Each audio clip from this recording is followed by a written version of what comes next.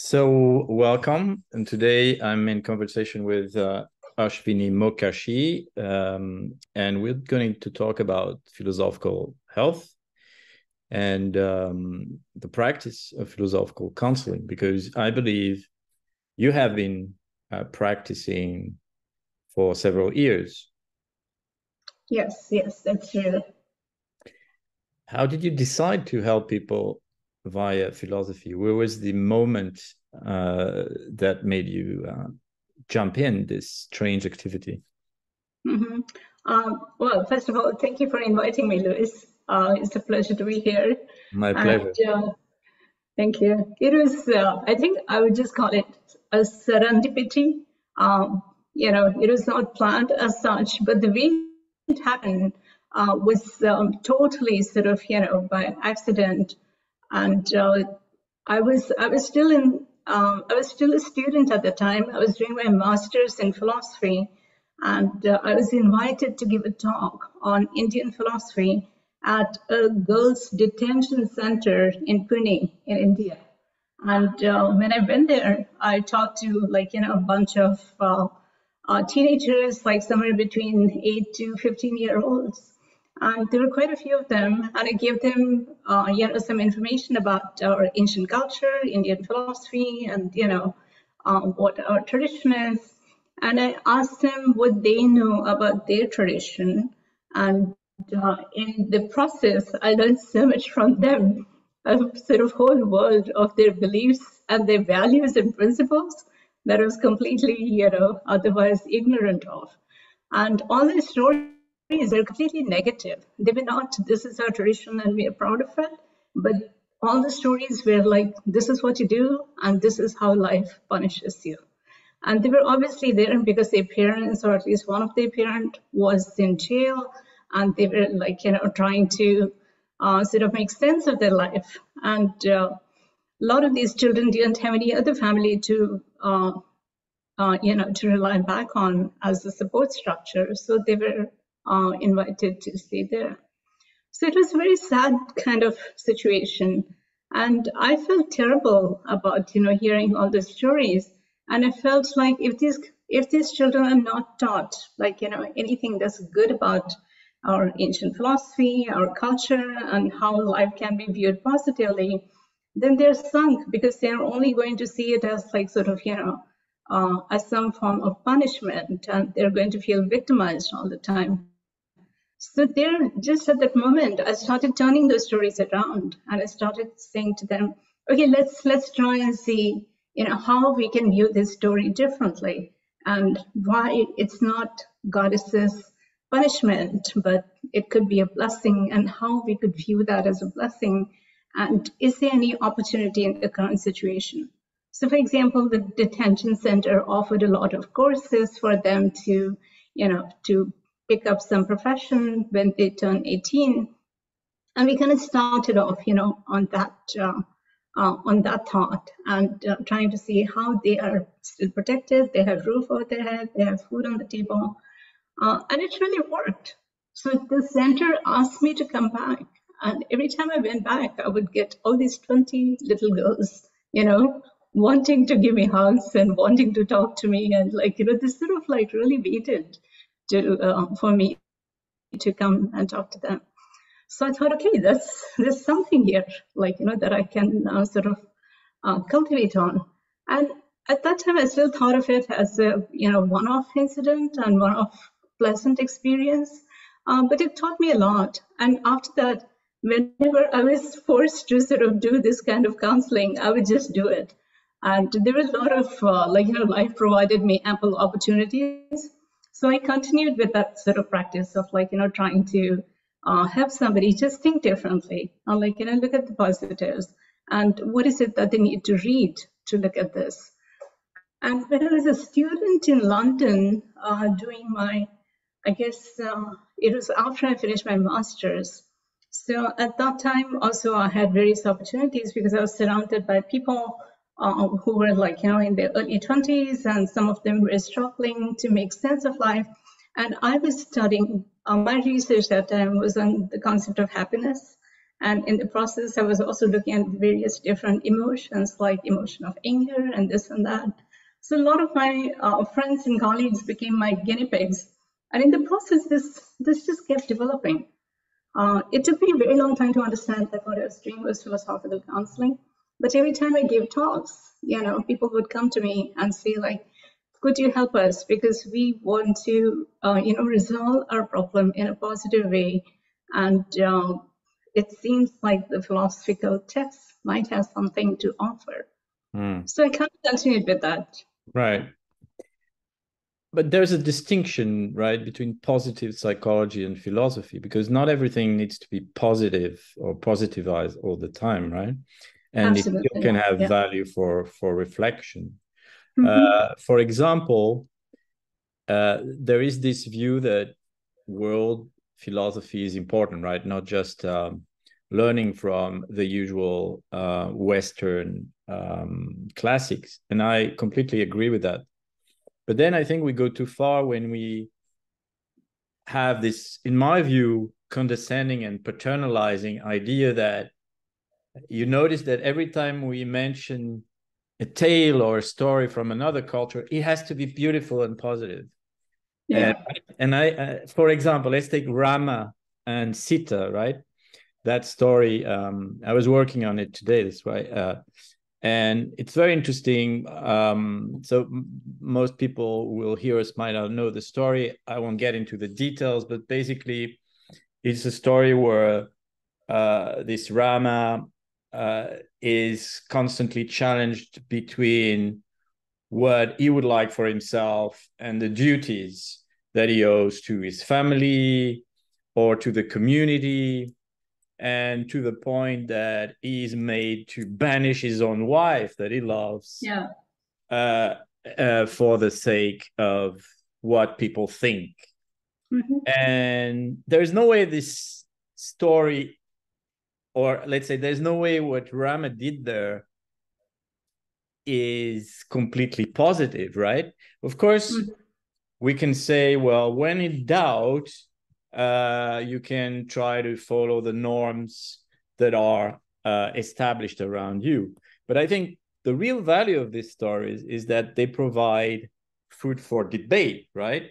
Uh, how much of the self should be uh, independent or or or autonomous, if that ever is not an illusion, of course, and how much of the self should comply with a certain idea of values, virtue, but then is it the virtue of the collective, the pre-established virtue, or is it an ethics that? And then we can elaborate on that. So I think it's important for me to to be on this perhaps dialectic or this thin line where we don't want to feel that we criticize all the time, right? There is this view of philosophy that's going to criticize all the time philosophy, I, I agree with you, as this tremendous power of making the world a better place. Mm-hmm. I agree. Uh, but I think we need to distinguish between positive psychology and this urge to always positivize everything. And, yeah, I, and, I'm with right? you on that because uh, the point is not to sort of like, you know, look at black and say it's white when it's not. So it's not like, you know, whitewash things as such. But I think most people want to study philosophy or want to read anything about philosophy only when they're completely stuck in a corner in life or they feel like you know they need to come out of this kind of judgmental thinking. Like they don't want to be judgy. They don't want to like you know sort of do something that they might regret later. Um, but they want to have a new thought a new perspective. And they want to see like you know is there a way to get out of it? So, for example, you know, you brought up a very, very beautiful example of uh, King Rama abandoning his wife Sita, whom he loved very much, and for whom he had fought a big war. And at the end of it, like, did he fight the war to uh, regain her in order to lose her again? And that doesn't make any sense, you know, especially if you're a woman growing in India, like you start wondering what was the whole point, and you know why would he do that? I mean, was he really a good king or a good husband? So all those in that particular moment, for example, it was a very controversial moment.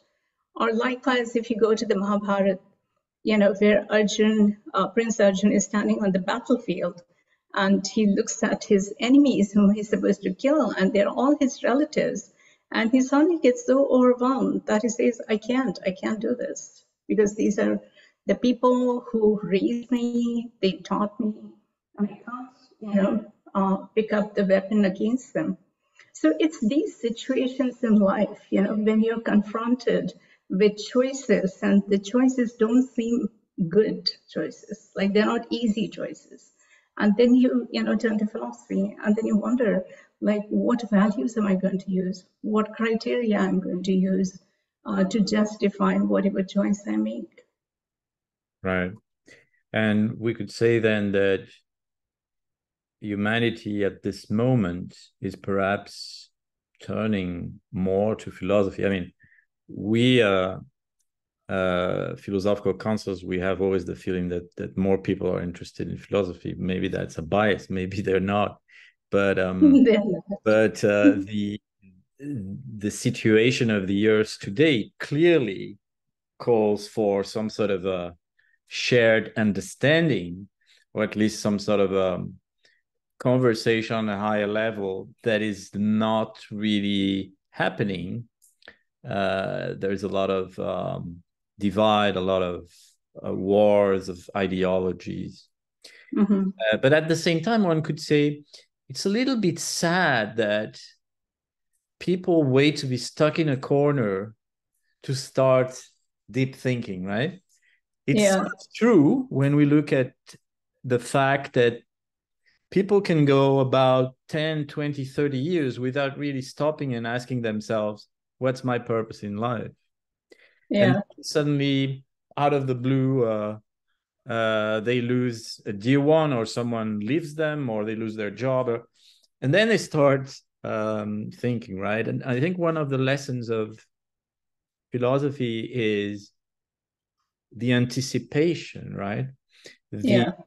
Uh, the um, thought experiments about things that are only possible, mm-hmm. which leads me to a very um, interesting point. But this is sort of disguised un- under a question: is what would really be your specialty if you define it? Is it business? Is is it psychology? Is it philosophy? Is it a bit of everything? Uh, it's hard to answer because I had a very non-linear career in some ways. Um, my my primary interest definitely lies in comparative philosophy, and you know my book is on comparative philosophy, and I have a copy of it just to you know show you what it looks like. Uh, so this is a study of uh, a wise person or the concept of a wise person uh, between Seneca Stoicism and the Bhagavad Gita. Uh, so I originally started with, you know, wanting to be a philosophy uh, teacher or something. And I was a lecturer at Pune University for three years. But after I moved to the US, you know, I realized that I needed to be able to work with analytical philosophy. And uh, I was not interested at the time. I can understand. Uh, I know it sounds, yeah, I mean, there's a bunch of people who have the same problem as I do, but it's a very, very small number of people. Right. And you know, by now, I actually really appreciate anal- analytical philosophy. Uh, but I felt like the kind of work I wanted to do, the kind of research I was doing, uh, it just wasn't possible to explain it in analytical way. Because in some ways, you know, analytical philosophy uh, provides us a lot of arguments, and the arguments need to be defined or explained and uh, and validated in terms of other arguments, but they don't leave any uh, you know, space open for any action, whether this can be put to practical use. Whereas I wanted to do research on something that is both uh, you know, theoretical, but can also be practical. Uh, so anyway, so um, so my research was not in analytical philosophy, and then I felt like, you know, okay, so I'm not going to get a job in academia, so I might as well try something else. So I went into the business sector and I worked for 10 years in US corporate industry. And then, as luck would have it, I stopped doing that. And then I turned to uh, philosophizing again. And then I was doing a lot of, you know, volunteering work, and I did some nonprofit work. And uh, I became the president of Princeton Research Forum for a few years. And it's an organization of independent research scholars. Uh, but throughout this time, there was one continu- continuity uh, in my life, which was the philosophical counseling. And for some reason, like I just kept getting, you know, people to come to me and ask me. And I guess I always talked about, you know, my passion for philosophy. Uh, so it was very interesting that, you know, I never thought of uh, philosophical counseling as a way to, as a profession, kind of, but as a way to give back to the community and to help, you know, anybody who might be stuck in uh, any situation. And then my volunteering work provided me a lot of those opportunities. And I started thinking, no, it has to be something more serious than just like, you know, sort of having those conversations. Uh, so that was the time when I came across uh, APPA uh, and, you know, the work of uh, uh, Lou Marinoff, and I joined them and then became very sort of uh, uh, more of an enterprise as such. Um, but I can tell you, some of my uh, clients sort of like you know come from um, come from this area where like um, where they were like seriously in in situations which required emergency actions, uh, and then they really needed to think like you know, are they going to make choices which are going to be life threatening or are they going to make choices which they could sort of like you know come to term with, terms with even 10 years later? And uh, sometimes it became very difficult to work with such clients uh, but once the emergency passed then they were very open reading philosophical texts. And uh, they would read either a Stoic text or the Bhagavad Gita. And that's when I got my um, book published because I felt like you know I need to uh, make the knowledge uh, very trans, uh, transient in the sense like I wanted to give it to them, uh, saying that these are the concepts that I'm working with. It's not something that I'm just coming up, you know, uh, coming up with at the spur of the moment. Hmm. so to give you an idea, like you know, there was one case I saw which was really inspirational for me.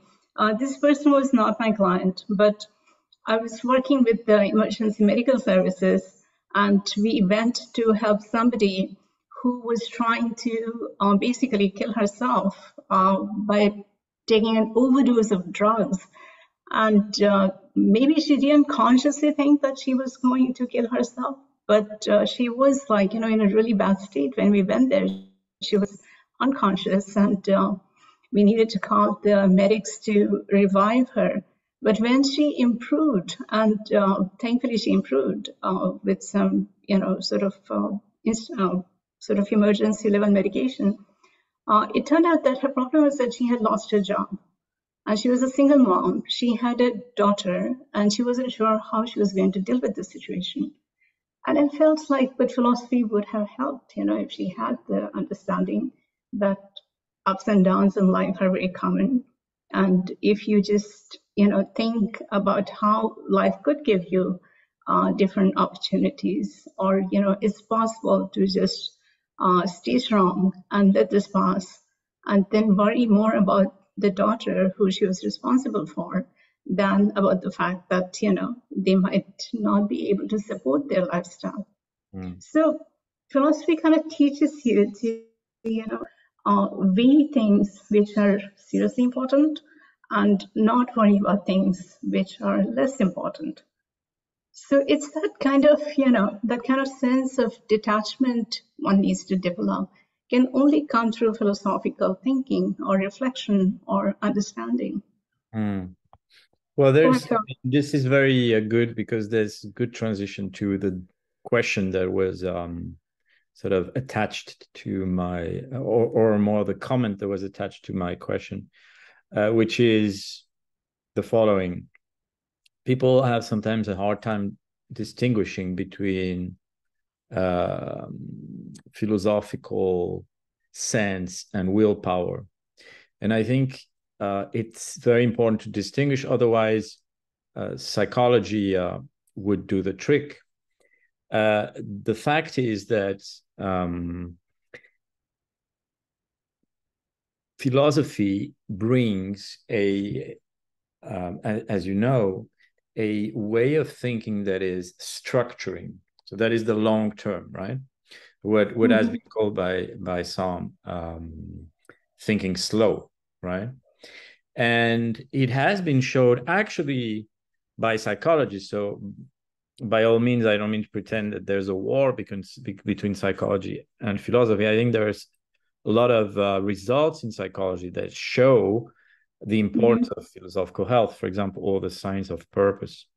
And so, what we know is that the brain uh, is very bad at dealing metacognitively in a rational manner with matters at stake in the here and now right mm-hmm. the the the brain is constantly triggered by emotions, uh, stimuli that it reacts to usually in the fast mode, which is the instinctual mode, which is the reptilian brain, etc.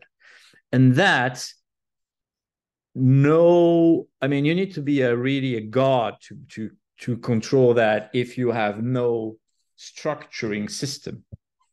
So mm-hmm. what philosophy in a way is always trying to do is is sort of transform the brain into a structuring machine. And that is done through uh, repetitive training of higher values, uh, mm-hmm. system of thought, etc., which is the, the slow thinking. And it has been showed that actually uh, there can be, we cannot self program it through will, right? Like if I have no mm-hmm. reason why to stop eating chocolate, I will just continue eating chocolate. Yes all my life. There's no way out of it. However, if I have a long term model right. that sort of has as a consequence that that I should eat butterflies instead of chocolate. It's just a metaphor, but uh, this will work better. Let's say we we we not it never reaches hundred percent, but so yeah. my experience, and I've always I've also dealt with people who are suicidal um, etc. I usually um, uh, bang them on the head with a, a, version of Plato's Republic. No, just kidding. But what I've seen is that it's true that people who are more, let's say, emotional, more governed yeah. their emotions, they yeah. are going to be more hard to do philosophical counseling with, precisely because their brain is not used to the long term mode, to the structuring mode. They are most of the time in a triggering mode, right? Yeah. And we yeah. also know that there are moments uh, of our life, or even ways our organisms are built, um, depending on the fact if we're a woman or a man or or a fish or whatever, that has different kind of uh, an, an, ecology, uh, physiological dependence. So is so the question is is philosophical health really for everybody um in the long term perhaps right but with a lot of mm-hmm. education but go ahead mm-hmm. i see you want to go on. yeah so it's it's a question i wanted over for some time and uh, okay so my my answer might be more generic but i think the answer is yes absolutely so the way I look at it is that if you look at the entire range of spectrum of what kinds of individuals there are, uh, so if you look at very emotional people and they're triggered, do you think they enjoy being triggered? They don't, you know, because it's a lot of ups and downs for them. So you kind of have to help them, like, you know, come to some kind of a balance. But when they're in the state of balance, they're open to reading uh, philosophical material or open to discussing their thoughts and open to discussing if another reaction was a possibility for them at that particular moment of crisis. So they can still benefit from that. And what happens is that, like, you know, in a way, I feel like there's no uh, there's no conflict between philosophy and psychology, and we can create a structure, a society uh, which is so healthy or at least you know stronger uh, in a way that they don't fall into, you know, sort of mental illness or like crazy situations like being suicidal or something like that. And we don't know whether we'll be suicidal at some point in life because we don't know what kind of curveballs that you know life is going to throw at us. But the question is, can we prepare ourselves in advance so that when there's the crisis, you know, in the next uh, um, 10 years or 20 years, you know, are we able to deal with that? So that's like, you know, for one kind of uh, uh, sort of category. Uh, most people who are sort of mainstream, you know, have emotional reactions some of the times, and some of the times they're more analytical. And they can also benefit by, like, you know, just doing some kind of reflection about who they are. And if I just sit here and think, who am, who am I? You know, I might think I'm a princess. I might think I'm a beggar. I might think, like, you know, I'm a nobody or everybody. I mean, the options are, you know, just uh, amazing, enormous. Uh, so the question is, you only figure out, or at least this is my thinking, I could be wrong about it, but I think you only figure out when you're in a situation and then you kind of observe how you're reacting or how you want to resolve that situation. Until then, you don't really know, like, you know, uh, what's going to happen when, uh, when sort of like, you know, you actually have to produce something or when you are in a crisis. So that's one thing. And then there are people who are extremely analytical and they sort of, you know, lack uh, the balance of uh, analytical brain and the emotional brain. And they could also benefit by knowing that, you know, there's another uh, option available of like, you know, understanding themselves or the emotions by reflecting upon that. So, so I really think that philosophy or philosophizing is possible for absolutely everyone. Right. So I think it's it's interesting. You criticized earlier analytic philosophy, and I and I and right now you made a point. It's it's true that it's I think it's important to uh, dissociate philosophical health from analytic thinking, right? Uh, mm-hmm. Analytic thinking, you divide the real into parts that you know. It's mm-hmm. not very creative. It, it it's very useful uh, to sort of understand the situation from different perspectives. Uh, mm-hmm. Uh, but that doesn't mean you're gonna you're not going to fall into the same traps because uh, in a way it's it's uh, quite contingent to the mm-hmm. situation at stake. That's mm-hmm. the first thing. Secondly, it's usually deterministic. So historically, as you know, analytic thinking is deterministic in the way it's going to say, okay, there's everything is determined by causes and events and basically if you apply that to life you end up with with the idea that we have a pre-written destiny uh, then mm-hmm. for people who are more into uh, tensions and, and relationships and or relations between mm-hmm. uh, different situations then mm-hmm. that's the dialectic thinking more uh, in in the Hegelian terms, this tension of opposites, and there's a problem mm-hmm. again because this often ends up in because our our again the creative capacity is limited uh, so we tend to see the world as op- binary opposites right so me mm-hmm. against my husband um, uh, me against my job etc right and and so the um, I think there's a third mode of thinking that is actually connected with uh, philosophical thinking, which I call crealectic, mm-hmm. uh, which means that it's it's not deterministic, as you were suggesting mm-hmm. yourself. There are always options, and they are infinite. In fact, of course, confront to reality, we might want to see a set of options, not infinite, right? But still, um, at the source of things, there is this infinite possibility, which is creative, which is non-deterministic.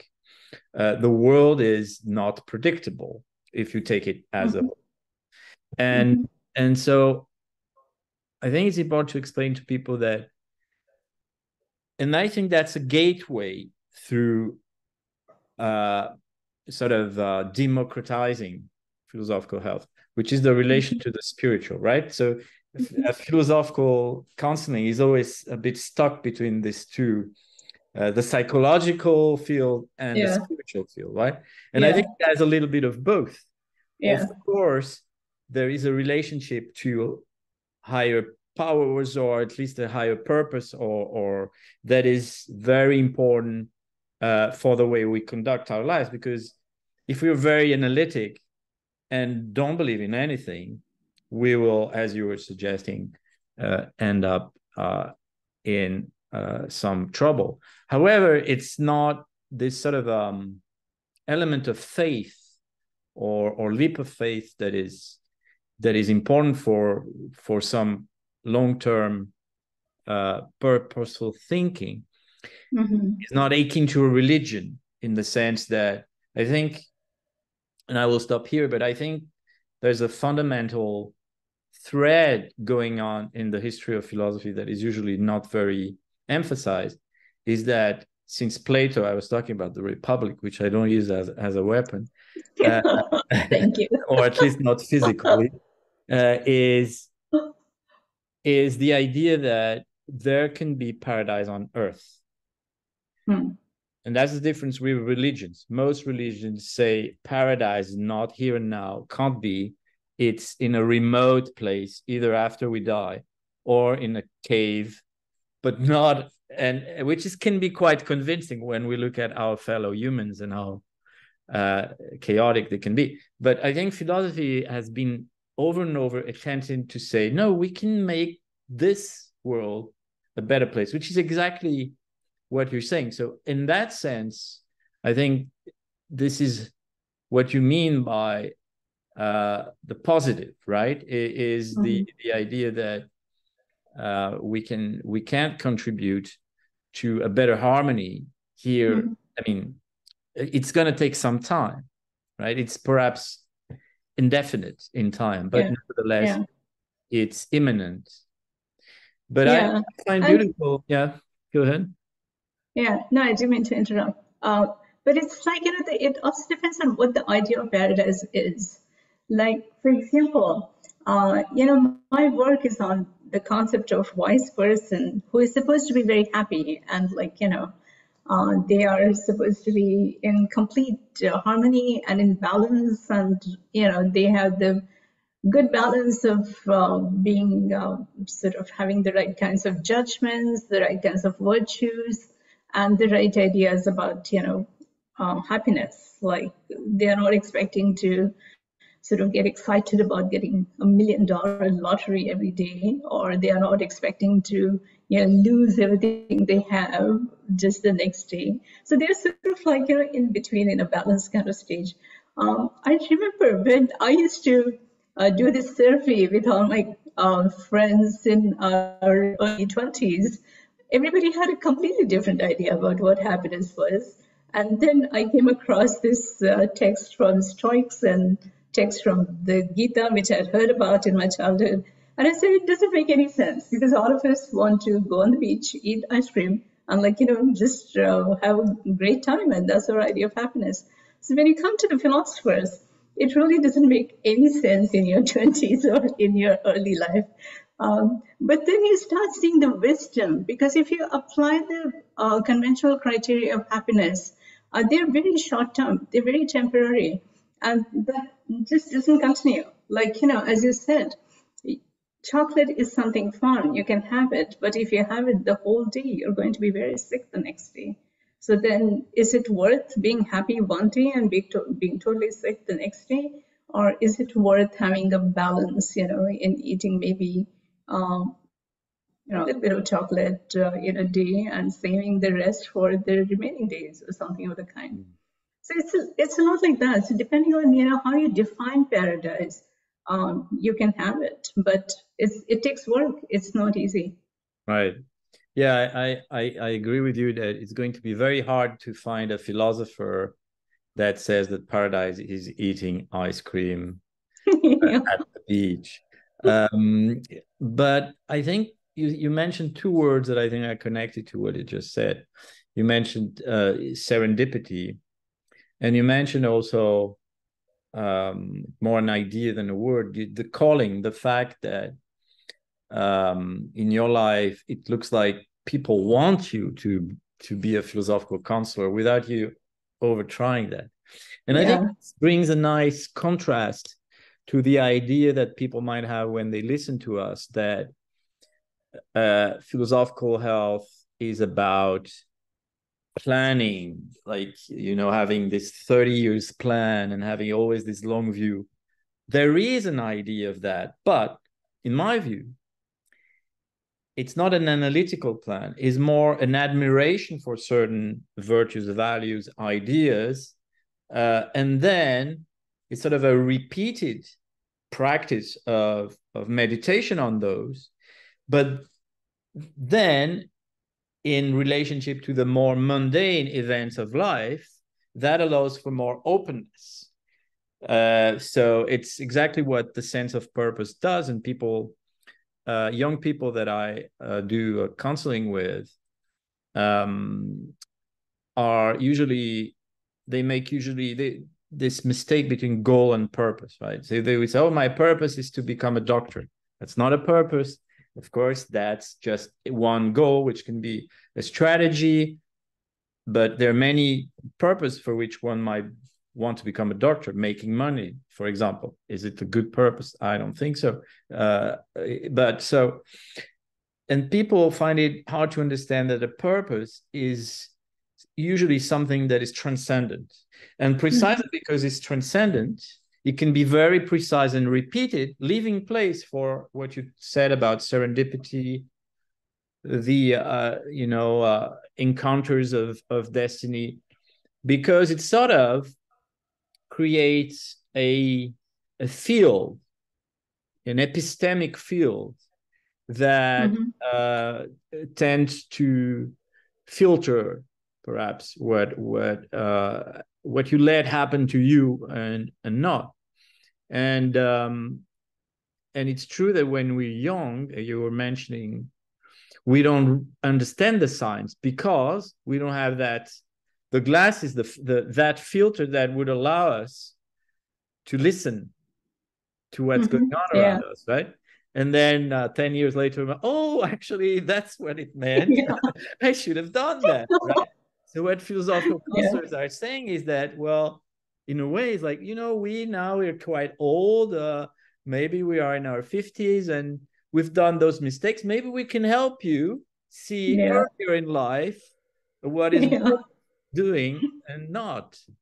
Yeah, yeah, no, it was uh, it was really interesting, and you know, for me, like even uh, my personal journey was a little bit like that. I I wrote my uh, book in my uh, youth as a sort of you know PhD student, and uh, I thought it was a nice topic to work on, but I never thought that this was actually applicable in life and then it took me a long time because every time I would, you know, talk to my family about my problems in life, they would say, just read your book, read your book. And mm. I said, what's that supposed to mean? Um, but yeah, I mean, there were also a lot of moments, you know, moments of crisis or moments of decision making. And then I felt very compelled to go back to these concepts. And, uh, you know, I would go back several times to the Gita and to uh, Stoics. And, uh, and coming to your point about like you know the purpose of life and the spirituality or the spiritual philosophy i think that's one field that still remains you know unexplored in some ways even though um, you know everybody's been talking about meditation or you know related concepts uh, from buddhism hinduism um, i don't think we have quite explored spiritual philosophy as such and its connection with uh, you know philosophical health. So my current research is on that, and I've been like you know studying the medieval scenes from different parts of India uh, to see like you know what are the uh, what are the tenets in Hinduism uh, that are sort of like you know uh, that are applicable that can be brought to life uh, in different ways. And uh, one of my um, one of my sort of counselees, so to say, was was an ideal counseling that any philosophical counselor would like to have. And the question that this person had was, okay, so I lived all my life in the Western world. I have been brought up on Sartre, but I want to have the results of the Vedanta. So how do I make the journey from Sartre to Vedanta? So I said, you can't have like you know the Sartrean philosophy to produce uh, non-Sartrean results. So if you want Vedantic results, you have to practice the Vedanta philosophy and for a very long time. And I think it was just a beautiful uh, conversation and multiple conversations um, talking to this person because you know we were talking sort of theoretically, but but there's absolutely the positive, uh, well not the positive, but there was there was a result that was awaited, like you know how the life is going to be, uh, what are the important things about life, and what do we need to do, uh, you know how do we conduct ourselves. Uh, so so they are all sort of you know related back to uh, the theory that we discussed initially about uh, Ram and Sita. Rama was confronted with making a choice about what is his duty and what duty is uh, more important or primary his duty as a king or his duty as a husband. So those are all the choices that one has to make, right? And one also has to live with those choices. Like we have to be able to accept ourselves making those choices. Right, and and uh, you you had me. Uh, I started uh, uh working on the relationship between nothingness in Sartre and nothingness in the Vedanta, but that would be for another uh, yeah, you see what I mean. dialogue. I think we we're going to wrap up. Um, mm-hmm. What would you consider to be the most important element of philosophical health based on your experience? Well, I mean, well-being I think is the most important, and uh, for different people, well-being, you know, uh, can be reached in different ways. Um, so as long as you have some idea about how to accept life as it is, because life and well-being are, I think, the most important things. Uh, so depending depending on the kind of uh, person you are, like the kind of makeup you have, um, you just need to come to the balance. And once you're at the balance, it's also still an effort to maintain that balance. Right. Yeah, because I mean that's um, we we we still have just a few minutes, but that makes me think that people, uh, because of the influence of psychotherapy, people might think that uh, people come to philosophical health always with complaints, right? Uh, with problems, with suffering. Uh, which is in a way sort of true but you can have you can also realize that things are going too well there's too much well-being in your life yeah. but not of the right kind right so a redefinition of well-being uh, i had i had this beautiful story of a um, a lady who came to me one day and she said well I am too joyful. Because as long as I am alone with myself, it's great. I am pure joy. But every time I am in relationship with the other, whether close relationship or then I get a little bit sad because the other is not as joyful as me. So I have always to sort of adapt, go down. Um, and and I, I found that very interesting because I think it is in human nature also to always want more, right? So some people are going to tell you, oh, well being is boring, is bourgeois. I want adventure. I want to feel possibility. And and to this, I think philosophy always answers uh, historically. Uh, I don't know much about the Indian tradition. You're going to tell me about that. But in the ancient uh, Western tradition, there is this idea of apotheosis, uh, theosis, of becoming godlike. And mm-hmm. we don't talk too much about that because it's sort of taboo. But um, uh, if I right, put it yeah. in, yeah, it's sort of taboo to say, oh, I can yeah. become a god. But yeah. a lot of philosophers thought that, of course, it's not in, in the sense of a superhero, we're not going to start to fly. Yeah but yeah. we're going to start to fly with our minds so if you take plato plotinus etc yeah. Uh, there is this idea that it becomes an adventure also because we sort of uh, become more than human and this might satisfy i would say um, the um, the need for some people to to which i think it's it's understandable the need for adventure right? So philosophy is not only about the stoics who you know take their pain and accept all the humiliations with a smile and and are apolitical and ma- a little bit masochistic. No being philosophical healthy there are many ways of being philosophical yeah. healthy. One of them can be very um, exuberant why not if it fits your character is there mm-hmm. a, a, in the traditional indian um, philosophical way is there an idea that of of becoming godlike or is it is it something else Luis, I don't know how to stop this. Okay. Yes. So is uh, sorry. Do you mind just repeating your question? Yes. Uh, is there in the Indian tradition a also a uh, a calling to uh, you know uh, what, what the overman or this sort of a I'm using a, a, controversial Nietzsche's concept here, but sort of the, to becoming a bit more divine as Plato or Plotinus or or even Aristotle. Yeah, absolutely. And uh, you know, there's definitely this concept in Plato, and uh, you find this concept in the Vedantic philosophy and uh, in the Upanishads, um, or even in the Gita. Like you know, the wise person eventually uh, has um, spiritual depth and the divine nature, and they get to that point. And how do they get to that point? So by you know doing meditation and by becoming one with the Brahman, as the Vedanta would tell you. Uh, so the same concept uh, exists even in Stoicism if you look at it very carefully. But their idea of divine is somewhat different. So right. for them, divine is sort of you know ethical or moral person who is as perfect as a human being can be.